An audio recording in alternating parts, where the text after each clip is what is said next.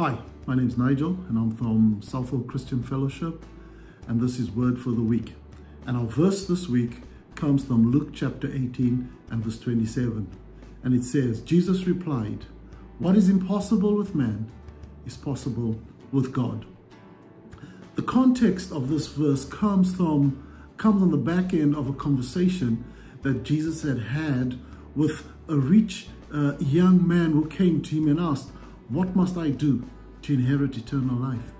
And after a brief conversation with this man, Jesus established that he had kept the law and that he'd lived a good life. But Jesus then said to him, listen, there's one more thing you need to do. You need to go and sell all your, all your possessions, give the money to the poor, and that way you will have wealth and riches and treasure in heaven, and then come and follow me. Now, this was a step too far for the man because the Bible says he, he had lots of riches. And so he turned away from Jesus and walked away. And Jesus, in seeing this here, speaking to his disciples, said, you know what? It's so difficult for wealth, for the wealthy to come to salvation. In fact, it's easier for a camel to pass through the eye of a needle.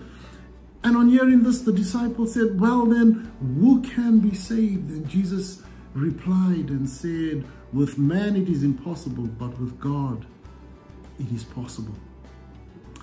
You know, this is one of my favorite verses because this truth not only applies to the issue of salvation, but it applies to every area of our lives.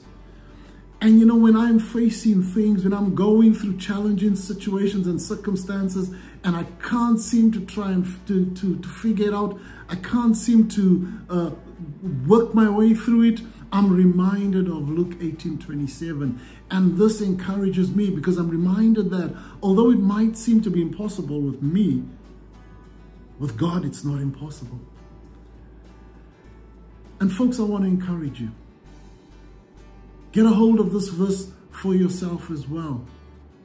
As you go through this next week, maybe you're going to come up against things that are just going to seem too hard for you to bear. Maybe right now you're facing a situation that seems impossible and you can't see a way out. Let me encourage you, it might be impossible for you and me, but with God, all things are possible. Trust Him. Lean on Him. Turn to Him. He will show you a way out. He will give you the wisdom that you need to deal with whatever your challenge might be at this time. I want to encourage you, get hold of God.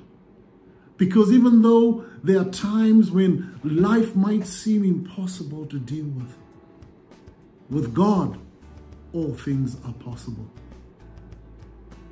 Be encouraged. God bless you.